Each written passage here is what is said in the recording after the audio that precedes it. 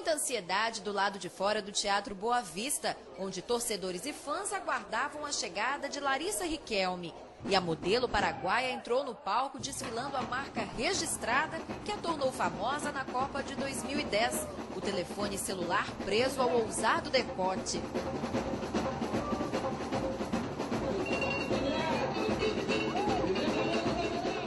Larissa apresentou ao público os novos uniformes do América Futebol Clube. A tradicional equipe do futebol pernambucano não disputava a primeira divisão há 15 anos. Voltou em 2011 e permanece na elite do futebol estadual. A modelo distribuiu camisas, beijos e muita simpatia, causando comoção na ala masculina. Na entrevista coletiva, ela falou sobre o amor pelo país e não perdeu a oportunidade de desejar sorte ao Mequinha no campeonato pernambucano deste ano. Muito mais sucesso. Seu Otacílio, de 75 anos, torcedor fanático do time, recebeu de Larissa um novo padrão do clube. Para ele, o América está muito bem representado. Maravilhosamente bem.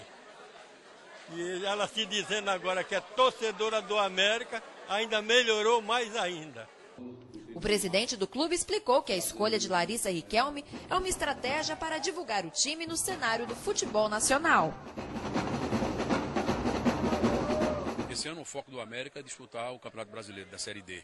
Então nós precisávamos de, de, uma, de uma ação de marca que divulgasse para o Brasil que existe um América em Pernambuco, que esse América voltou, né? E aí surgiu o nome da Larissa.